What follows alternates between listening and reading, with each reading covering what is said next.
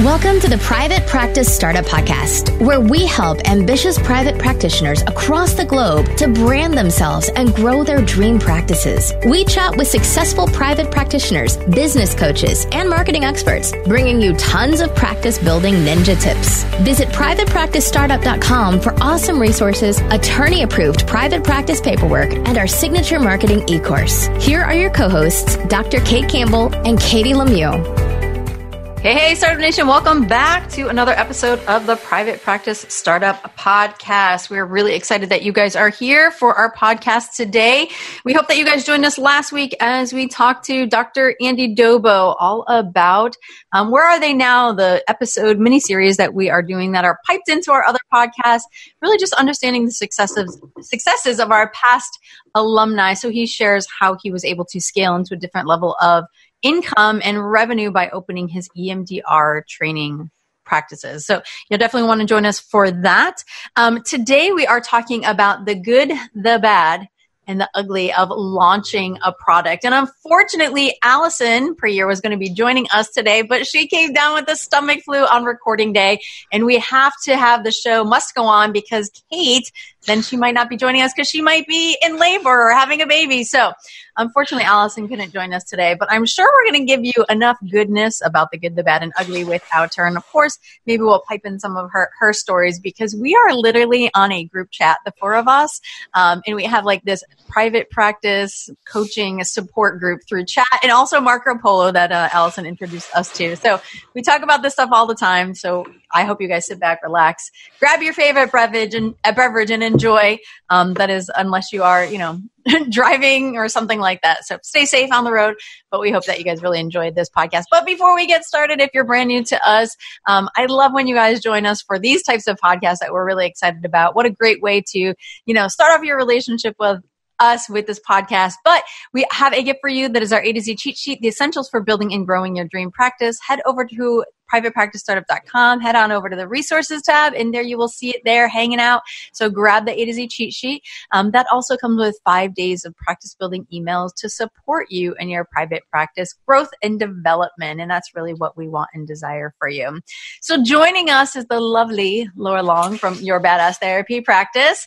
Um, she's a regular on this podcast by now. I, I actually, I think Laura, you probably have now taking the cake. It was like you, yeah. Ernesto, Allison, but you, I mean, like this is the fourth, maybe fifth time that you're yeah. joining us. You are the queen.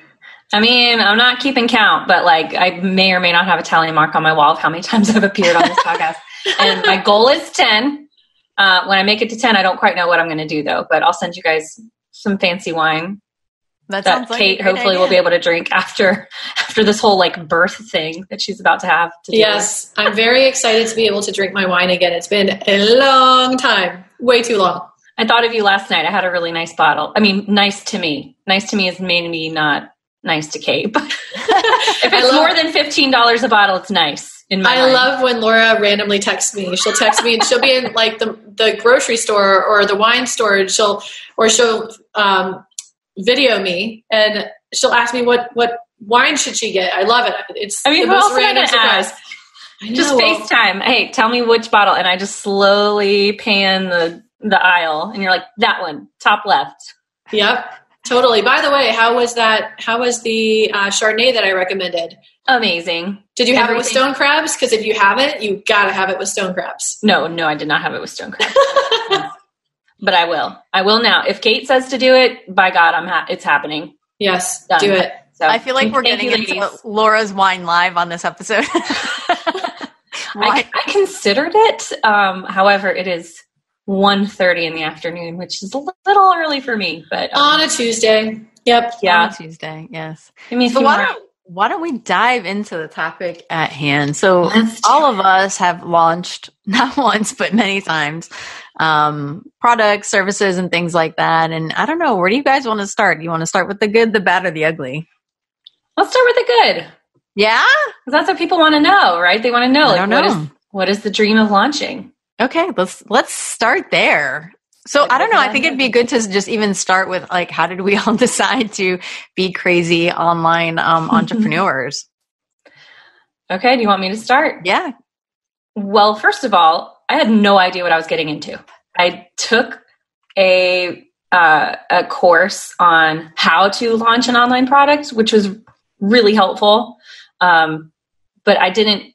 I mean, you know, it's almost like I'm going back to the whole birthing a baby thing, but it's like you have no idea until you're kind of elbow deep in it what it entails. So, um, I, for those of you who maybe know, I had a crap ton of student loans to pay off. So that's kind of the catalyst that brought me into even having an online business to begin with.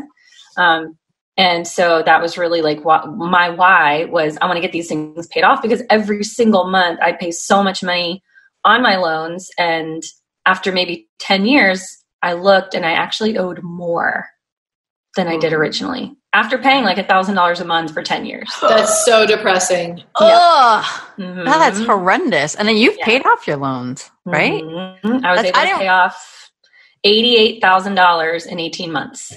Oh my God, that's amazing. I knew you go, that girl. Paid your loans off, but I didn't realize this is how you got into the online world. Yeah, that's how I did it. Um, and so that was my why of doing it to begin with was I want to launch so that I can break free because I literally felt like I had a chain wrapped around my neck. I couldn't do anything. Like we couldn't go on vacations.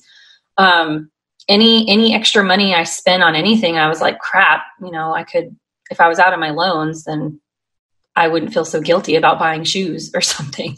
Wow. so I was like, I've worked way too hard to be in this amount of debt. So that was what it was for me. What about you guys? Amazing. I think for us it was we were doing on we were doing face to face trainings and events and mm-hmm. you're limited to how many people you can reach and online you can reach so many more people. And we initially started with launching our paperwork, the attorney approved private practice paperwork, and we would have about one launch of those a month. And we started to see that once you have a couple launches under your belt, and you have it all systemized, it's really easy to show up, do the webinar, and then watch the sales come in. And we always knew that we wanted to have the private practice marketing e course. And it took us so many years. It was like climbing a freaking mountain to finish the whole, all the mm-hmm. content, the systems around it, and everything that that entails. And then when we initially, we've launched that twice now it's been quite the roller coaster ride, and I know we'll yeah. get into some of that um, in a little bit. But really, I think it's just to it, it, was the idea of expanding our reach, the idea of bringing in some more passive income. Mm-hmm. Because once it's created, once you climb that mountain up the hill and it's created, it's a whole lot easier on the back end. There's a like ton of front end loading to set it all up, but uh, totally. it was yeah, just the desire for more passive income. That, yeah. that would be the bad part, all that front end loading, because it can be very exhausting. And then when tech doesn't work, which has happened during all of our actual launches live, um, that would be one ugly. But I know Laura said you want to start off with the good. So let's talk start about with the good. Let's start off with the good.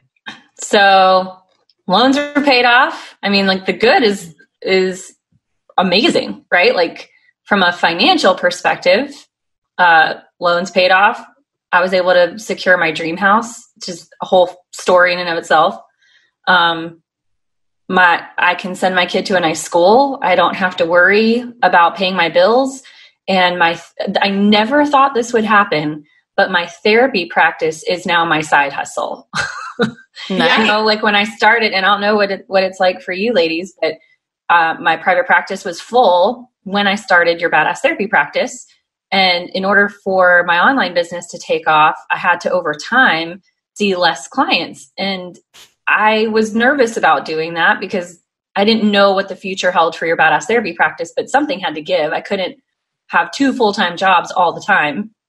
So now it's gotten to the point where I maybe see eight therapy clients a week and the other, you know, 30 hours of my of my week are spent doing things like this and creating content and videos and working on more courses. So it's, it's really exciting, but I never knew if you had told me three years ago that my private practice would become a side gig to an online business, I'd be like, you're crazy. You'd be like, what am I selling? Shoes? What, what do you yeah, mean? like, do I have like an Etsy store? yeah. It's pretty uh, fascinating. It's kind of happened the same, a similar way for me too. I, I have baby therapy, the group practice, and uh, that's still really a priority for me and still really important. But I have it so streamlined and systemized that I don't even have to see clients there for any income. Um, I'm able to I actually stopped seeing clients earlier this month because of maternity leave. I needed to make sure I didn't go into preterm labor. Doctor was like, uh, cut down the workload responsibilities, anything that's extra stressing you out. I'm like, okay, this is time, cut the cord, bye clients. So um, at this point, I'm not seeing any more clients. I'm able to focus on the um, the bigger side of of growing the business, scaling the business, and that sort of a thing. But it allows me to basically spend pretty much all my time on the private practice startup and really like working on propelling things forward. So yeah, yeah, it's I never even really thought that that was going to happen. Yeah. And I too have cut down over time. I'm probably at about eight clients now as well. And I, I, think one of the, the great things about the online stuff is, you know, being able to impact more people, right? When you're face to face and you're local, like you can only reach as many people.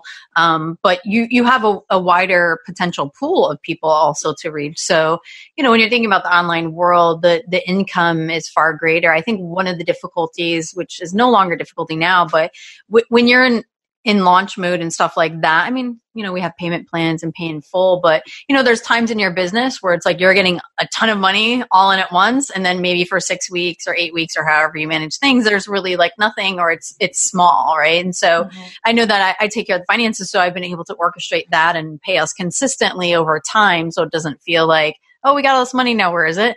Right. So that, that's been an interesting a learning curve mm-hmm. to manage for sure. But yeah, I mean, it's so cool to also see therapists doing just amazing work in other areas of the country that number one you like sometimes i've never met them like face to face and haven't been able to squeeze them yet and then you finally get to see them face to face and it's just mm-hmm. like this mm-hmm. really cool um, opportunity and you know we have very like close relationships with all of our alumni as do you. Um, so that relationship continues and they're doing good in the world and you can support them and that's exciting. Um, so mm-hmm. that's a lot of fun. I think the other good is like what kate was talking about like when you have something and it becomes systemized uh, and it works well and you can kind of show up and do the work that you you love. Like with us in the podcast and the paperwork right? It's our paperwork webinar. It's just we have to remind ourselves like wh- what do we need to do here right? Like okay is it on? Does the link work? Okay it does.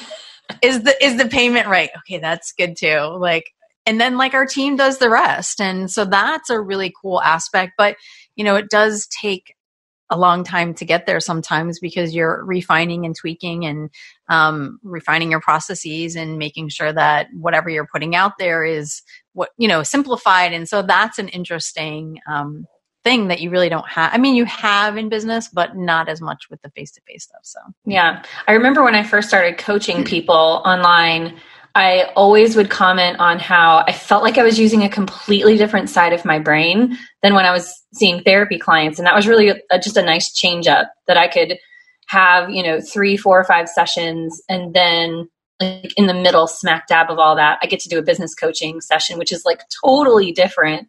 And so I feel like that just, it helped sustain me during those long days.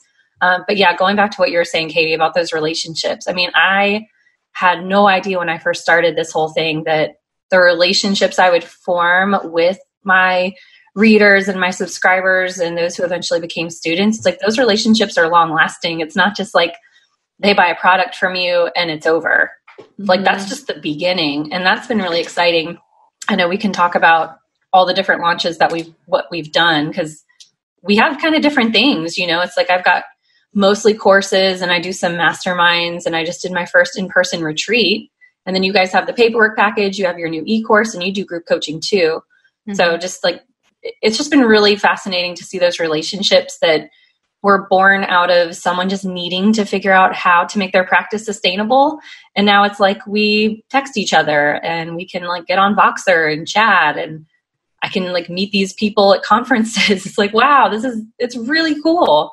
It is. It is. It is a lot of fun. And I'm like, uh, another good thing is like, I'm kind of kind of know Kate and I often get blown away really by the results that people are producing. Like right now, you know, our coaching program is a, a 90 day, 12 week, 10 week program, right? And then you either run into your coaches or they follow up with you. I mean, um, one of our alumni, Sean Davis, he follows up with us a lot. And he recently sent us, he's like, I just want to show you a graph since I took your coaching program. I think it's almost a year and a half ago. I saw that. 205% what growth like that's like mind blowing and like as i talk about it i get chills and it's like you know it, I kind of feel like there's a portion of it, like with clients, like they attribute this success to you, and it's like I know that there is a portion of it that we are responsible for, but like just to see them grow, and mm-hmm. and I think it's it, it's really the possibility of we don't even know what's possible and they don't know, even know what's possible and then they're starting to get the results mm-hmm. and they tell us like that's that's pretty freaking mind blowing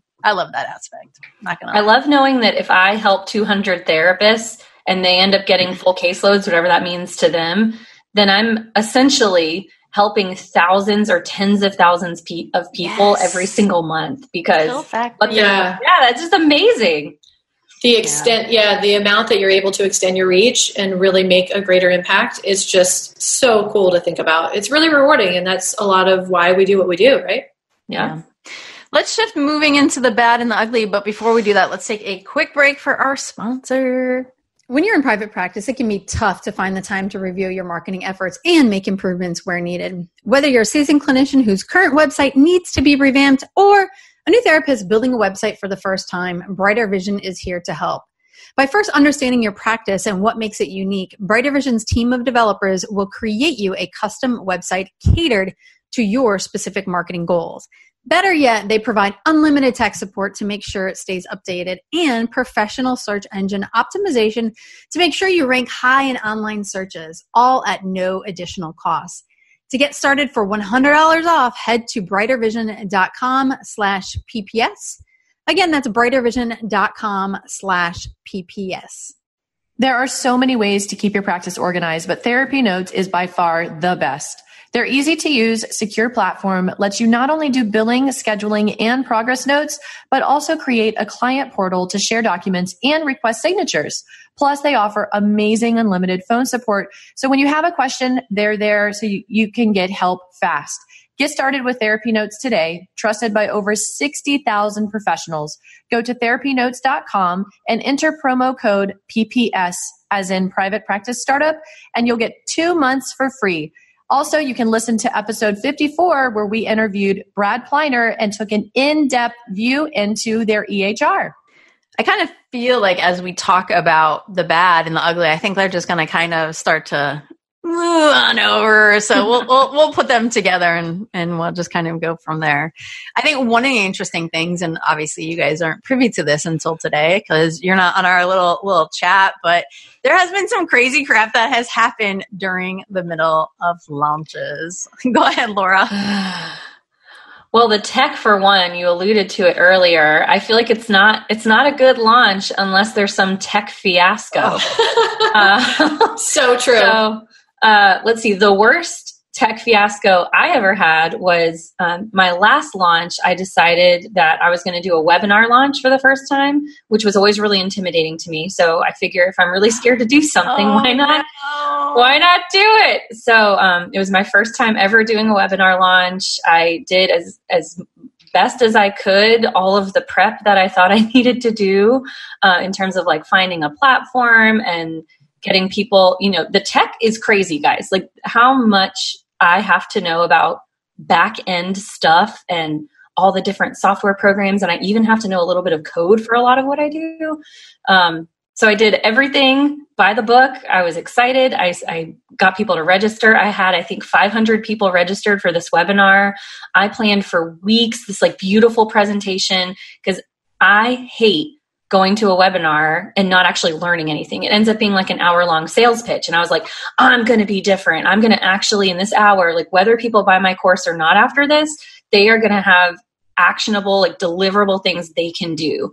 So 500 people register for this webinar. I know you guys know how it ended because you were a part of the chat. Um, and I start the webinar and there's only like 98, 99, 100 people at any given time. And I was like, 500 people registered and I specifically said there was not going to be a replay. So I didn't record it because I meant what I said. There's no replay. This is it. You come live or you don't get in. Um, and so when only 100 people came, I was really like disheartened. I sign off at the end of the webinar feeling pretty good because overall it went really well. Like my presentation part went really well. And I check my email and I have 80 emails of angry people who couldn't get in because apparently the software program that I used for the webinar only admitted they would only allow 100 people in, regardless of how many people registered. So then I had to, like, I panicked because here are all these people accusing me of just like stealing their emails, knowing that they couldn't get in. And I was mortified. So, dagger to the heart. oh, yeah. So I, um, I spent a day trying to figure out because it's in the middle of my launch. I mean, here we go. This is it. It's launch week. Trying to figure out what the heck to do to make it right. And I was like, you know what? I'm just going to re-record the webinar by myself, do it, you know, all from start to finish, and then I'll just plop it on YouTube and send it to everybody for like a limited time. So that's what I ended up doing, and people were were grateful and gracious about it. But yeah, there were people who were not not happy, and I was. Uh, I, I don't even think there's a word to describe. Like I was just mortified. So stressful. Right. And my like, biggest my biggest tech blunder. Yeah, and you have this like attack, right? And a lot of times either people are just they don't know you, right? So they don't really know who you are and what you're up to and how you mm-hmm. handle things. So you're getting this attack because they're pissed off. So you have to manage that. You have to manage your own emotions because you mm-hmm. go into feeling like an asshole or a jerk or and then you have the time pressure of tech and deadlines. Like Yes. I have to make this right right now. Everything has to just everything is on hold. I'm sweating. I can't think because I'm emotional. I Yeah. remember I this was this was during a paperwork launch. Um as you're talking about this, I remember. So it's me, Kate, and Jessica sitting at the table. So Jessica manages manages our chat, and you know she helps us do a whole bunch of other things. So we're sitting at the table, and I went to move the list into another list or something like that. And what ended up happening is in the second that I thought I was doing that, basically everyone who registered for our webinar was about to get our paperwork for free. Everybody. Oh, And I, I like I was sitting there and I went like this. Oh my oh my god. And I just felt like sweat coming over me and like panic, right? And and I don't remember what Kate's like, get on the chat. And I'm like, okay. And and Jessica's calm as a cucumber. She's just oh, calm as a cucumber. She's like, oh, just do this and un- unhook the thing and whatever. So I was like, okay, okay, okay. well, I guess the list was like big enough. Like it didn't have enough time yet, technology wise and everything. So we blocked everything, right? And then we had to, you know, scramble and do some other tech stuff. That reminds me. That was like a full on like panic mode, like because your product is digital. It's easy for people to get if you hit the wrong things. Oh. wow. I forgot about that. I thought you were going to tell. I thought you were going to tell the story about the the huge, like giant glass of water that we spilled all over all of the equipment. Like the second we're getting ready to go live, it's like a waterfall happening. yeah, the, the glass was behind the computer, so I didn't see it. I pushed the computer back, water all over the place. Like literally, it's like twelve o'clock. We're going on twelve o'clock. I love how we can laugh about all this now, but when it's happening, y'all, it's the worst. It's bad. It's crazy. I remember Laura, you were you were super sick. I think you had the flu for one of your launches. Oh, yeah. I had yeah, I think I think that's almost like a I'm cursed now. Um so so this last launch was when the tech blunder happened during my webinar. The uh, launch before that, I got the flu during launch week. And once you pick a date and once people start paying for your product or you know, for me it's a it's a cohort model course. So I can't just change all the dates because I got sick. Whereas if I was selling maybe more of like a, an actual product, like your paperwork package, and, it, and I got really sick, like it probably is okay. Like you can still move forward. But man, I had a live Q and A scheduled with all of my alumni who arranged their schedules. Like they made sure they didn't have a client during that hour because we were going to do this whole like alumni tell all of my program. So I had like a hundred alumni rearrange their schedule to be here for this tell all that I was going to stream live on Facebook and I get the flu and I just had to cancel everything. And shockingly, that up up until that point, that launch ended up being my best launch. It hasn't been my best since, but like up until I had launched like five or six times at that point, and that was still my best one, even having the flu. That's crazy. And I'm glad you said that. And one thing that I, I have learned is that when you make mistakes, people realize you're human. As long as you you clean them up and whatever. And I mm-hmm. I think there's times that we've had those times being our, our best launches. I don't, I don't remember what it was, but we did do a paperwork webinar and there was like some issues, but like that was like our best launch, you know? So that, that's, that's a good thing is like when you, you're human and can kind of fix things and own your mistakes, people, mm-hmm. for some reason that helps. I don't know. This last launch that we had in September was the most insane, never ending, stressful. crazy, stressful. The hurricane, launch. right? We literally, it, oh my gosh, we were like, you can't make this up. You can't. You cannot make this up. So here we are. We had planned for a 10 day launch. It was a little bit longer of a launch. We'd been working for With the pre-launch. Like mm-hmm. three months solid on revamping things, tech tweaks, going through all the marketing content strategies systems, and the whole system going through and refining our course based on everybody's feedback, making sure everything was perfect, right? So we've been slaving away doing all of this work on the front end. And then we start the launch, and then there's like this massive uh, category five hurricane that's like looming in the distance, right? And so we're watching that come, and here we are mid launch. We're like in the middle of the launch. The hurricane, category five, looks like it's going, it, it is dead beelining straight for Fort Lauderdale. Looks like it's going to completely demolish us. Right. So, this is guys. This is Hurricane Dorian that demolished the Bahamas. Like that's what we yes. were up against. And the Bahamas just give you some perspectives. Ninety miles from us, so not not that far. The hurricane literally sat over the Bahamas for two days straight, Category Five, over 200 mile an hour winds, and just pummeled them. And that is like right next door to us. Here we are mid launch. They're getting pummeled. We don't know what's going to happen and we had to basically push everything back mid launch. So it became like a three week long launch. And it was the never ending launch. we did 80 coaching consults during this time because the, the window was so open. And not to mention all the hurricane prep that you have to do for your multiple properties and office and uh, you know hurricane shutters going up and bringing everything inside and then figuring out uh, it it was absolutely insane. Yeah and if, if, you've never been through a hurricane the way i describe a hurricane is all your family is going to come for the holidays and they just told you a week before. You're cooking all of the food that you have because you don't mm-hmm. want it to go to mm-hmm. waste. And you're basically moving all at the same time in one week or, or less. Like that's what it feels like because you are running out fighting all the crazy lines like it's the holidays.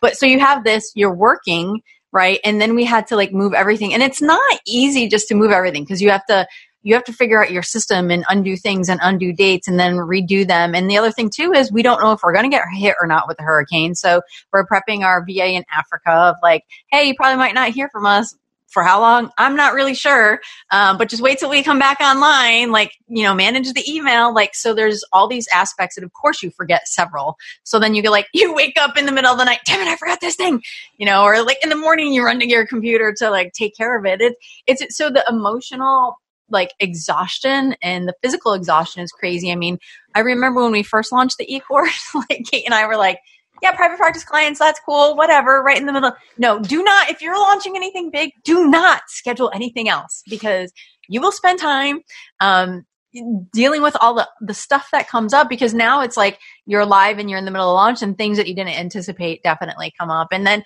I would say one of the bad things about launching is the refresh button the end of your launch like or, or like in the middle of your launch. So statistically speaking most people buy in the last in the last day the last 24 hours 12 hours whatever. That's the time you get most sales. But if you don't know that you're constantly going to your email like did someone purchase? Oh maybe maybe i'm not refreshed. Let me refresh again. Let me refresh again right? And then you're like and then that's when all like the mindset chatter creeps in. Like i suck. People bitchy brenda bitchy brenda comes to town she's all like damn bitchy brenda well, I think there's pretty much a reverse U curve for all launches, right? So if you whether you do it, I've I've tested five day launches, 10 day launches, 14 day launches, and they all follow the same trajectory regardless of how long they are. It's the first day or two, I get a lot of sales and I get really mm-hmm. excited thinking that I'm just going to go, woo. Uh, but it dips, right? So if I do a five day launch and I start Sunday night and I end Friday night, Sunday night through Monday night, awesome. I get a lot of people coming in, a lot of interest, a lot of emails. I'm like, yes, it's going to be a great launch. By Wednesday, I have zero sales left. Like there's nothing coming in. It's just like complete crickets, crickets Wednesday. Even into Thursday, I might get like a couple of sales in there and I'm like panicking because you don't know how it's going to end. So it starts off great. And then you're like, what's happening? What am I doing wrong? No one's coming. No one's buying. And then, of course, like you said, Katie, the last 24 hours is when the bulk of people buy because they're like slackers and they need to be like pushed. And it's like, I think I send like two last minute emails being like, guys, seriously, it, it's closing. And that's when everyone buys because they're like, oh crap. Oh, yep. All the procrastinators out there. because while our launches are the most important things to us that week, our launches are not the most important thing to other people. Uh, even if they really want to enroll, it's not like the first thing on their mind when they wake up in the morning, like, oh, got to make sure I enroll for that, that e course because it's ending on Friday. So, yeah, so Friday night, then I get a ton of buyers at then and then I'm like, whew, all right, we dodged that one. But right. I, I feel like every single launch is that. So I've now become super relaxed. So even my VA is like, uh, it's Wednesday and people have stopped buying. I'm like, it's fine. They'll figure it out. and they do. And and there really is a psychology behind that and a psychology of buying behavior. And for you to understand that, that's really important. You were talking about the webinar. I remember when Kate and I first did our paperwork webinar, we literally had like 800 people sign up. So we're like, oh my God, we don't have spots for 800 people. Like we freaked out, right? And so we found that we could utilize Get Response. So we could have a place for 500. But the interesting thing is only like 30 ish to 40% of the people actually show up live and then a, another percentage actually watch the replay so we were like panicking really for no good reason but we were in the same boat as, as you are but mm-hmm. make sure that we had more more seats available but you know I would say learn the numbers, learn the statistics. Um, you're going to go through your own emotions about it. it it's tough. Um, you know, dealing with all of that stuff. I know last launch, Allison, poor thing, she sprained her ankle. like, oh my gosh, I remember that. A lot of craziness has happened, um, you know, during these these times for sure. What would you guys say is like something like super ugly going through launches super or something ugly. that's happened? I mean, those, I mean, hmm. those things that we've shared are really tough already. Um, but I don't know if there's like anything that just kind of really like sticks out. You thinking? Well, about? I think it's when a launch doesn't go as well as you hope, right? That's I think true. we all have these. Everyone who launches something has a, a minimum amount of product they'd like to sell. You know, maybe to like to to even have a launch, we have to have software and we have to have these subscriptions. So it's like we have overhead. So there's like some level of okay, I need to at least sell these this number of whatever to to make it worth it that I did all this work and that I'm paying for all these services. And then there's the middle number, which is like this would be really cool. Like that I would be I would consider this a successful launch if I make this middle number or if this amount of people purchase this product. And then we all have this like I don't even I'm not going to say what Allison calls it, but it's like a a poop your pants yes. kind of like if this number then like I'm retiring and moving to Hawaii or something, you know, but I think everyone, do you ladies have that too? Where it's like we've got. Yeah, I've actually had a range. Scale, yeah, but I've had to scale back because I get disappointed with the numbers. Like, because I'm yeah. like, I go pie, pie, pie in the sky, and then you know, Kate always has to like, be like, but we did good. Look, we did. And then she has to give me all the pep talk about, you know, and then and then yeah. I have to remove myself from the numbers and just get really present to what we're up to, and that's really, like you said, helping therapists stay in practice and affect, mm-hmm. you know, many many lives. Yeah. So, yeah. but I think that's the ugly though, is like focusing on the number yes. because at the end of the day, it's less about the number. Those numbers will come as long mm-hmm. as we mm-hmm. are doing things that really help the people who we serve, right? Like once you right. stop, once you lose sight of that, then the numbers will never come. Yeah. For me, I don't get invested in a particular number because it I, it just puts way too much pressure on it for me, and I, it's just not helpful. Mm-hmm. Um, but I always want to do better than we did before. So right. there still is some expectation there that we want it to do better than before. Yeah. And sometimes better, like for me, better doesn't always mean that I made more. Sometimes it's that I was able to increase the mm-hmm. price because the value has also been added to the course. So it's like, all right, well, I didn't sell as many. Like maybe I had a, a, cohort of 45 instead of 50, but I was able to successfully raise the price of the program overall, and people were still excited to, to pay it. So that's to me is a successful launch even if the bottom line isn't a ton more than it was last time getting like less people but of a higher price point knowing mm-hmm. that they're excited like that that to me is a, as a successful launch when people are like oh my god i did it like i finally saved up and i'm here and let's do it yeah. So the energy of exactly Yeah. Yeah. One of, one of the things that just kind of popped in my mind when we first launched our e-course, we had to like abandon our whole marketing strategy mi- right in the middle of the launch and we had to switch into consultation calls because that's really what people were Oh, needing. And- yeah. and I'm I'm I'm the systems person in our relationship, so I'm constantly looking at the systems. And I think my my line is always like, "This is not working. This is not working. This is not. We have to change this. This is not working." It's like, "No, we're doing good." I was like, "No, but it's not working. We got to figure this out." And so like we had to really shift gears and like and again, it's that time pressure deadline of okay, we're launching from here to here, and we only have this amount of time, and so we got to figure this out. Um, so that's definitely like super ugly and stressful, and it is because you have to clear everything like off your plate to get it done and it it's it's a lot that would be super ugly Yeah, that is ugly. Probably the ugliest. Yeah. But so you know i'm just kind of thinking like you know as we talk about this stuff and and launching and the good the bad and ugly what do you guys want people to really hear from what we're talking about today? I think for me, if if we don't know a lot about how to do something, we can often get lost in this um, research overwhelm. Like read all the books and the blog posts and listen to all the podcasts about how to do the thing. And it's not until you're actually just doing it that you learn stuff.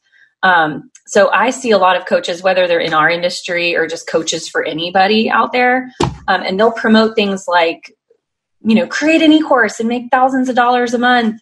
Just follow this, you know, five-step sales funnel sequence, and they make it sound really, um, really tactical. Like if you just do these things, then you'll be successful and you'll make six figures. And what I want people to take away from today is that it's so much. It's about so much more than that it's about creating products that really serve your population and listen listen to what it is that who, whoever it is it, like for us it's therapists in private practice for you out there like if you're wanting to create an online product maybe it's for something that is closer to uh, your clients. So if you see couples like maybe you're contemplating creating something for couples right?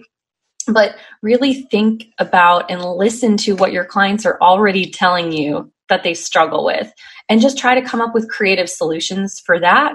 Uh, the tech stuff and the the click funnels and the email service provider like automation series and all these big fancy terms like none of us knew that starting off. You just no. find find a problem that you really want to solve and people whose problems you want to solve and just go about doing that and come up with creative solutions that work.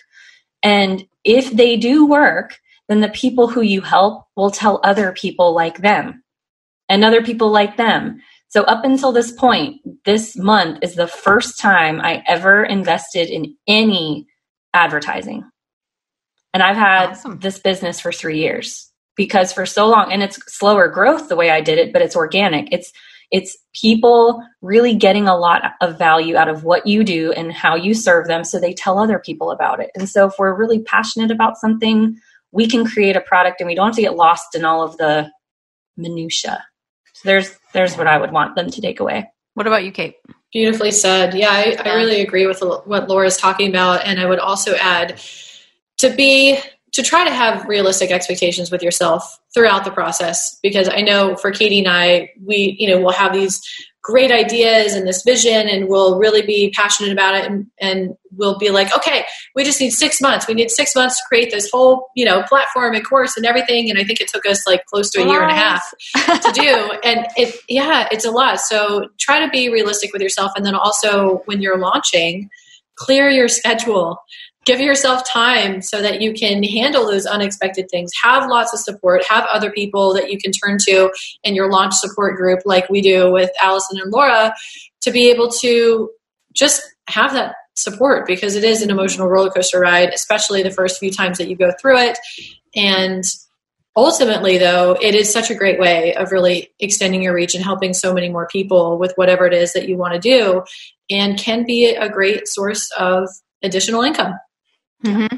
For sure. And I and I agree with you ladies too. Like it's all it's all a learning process and if you're, you know, an entrepreneur, a junkie, go d- go down the path and you know, you can always start off small. Like we created this by doing one on one coaching and then group coaching, and we were beginning to test and measure. And we kind of created our product as we went. And there's a lot of schools of thoughts of doing that. Like you don't even have to know. You just ask them, you know, what is it that you need to know about this topic? And then you create that next time, like within a week, right? Mm-hmm. So it's all there. And if you do have a message and you have a creative solution, like Laura was saying, is like don't don't be quiet. Like it's not kate and i always say it's not about you because if you don't share your gifts out there in the world so many other people are missing out. So if you're thinking about you know launching something creating something we want to encourage you to do so. Know that it's going to be a crazy ride.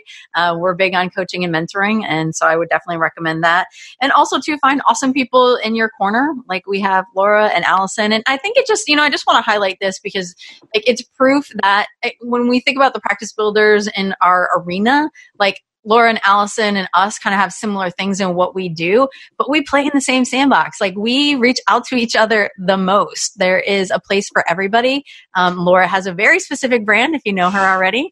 Um, and, you know, Allison does other things and we all have our own brands and niches and things like that, but we completely support each other and it's always collaboration, never competition. So find the other people that are doing what you're doing, get help, get support, but most importantly, get your message out there. So we hope you guys enjoyed the good, the bad, and the ugly of launching. This hopefully has given you a little like insight of what it's really like to experience launching a course, a service, a product.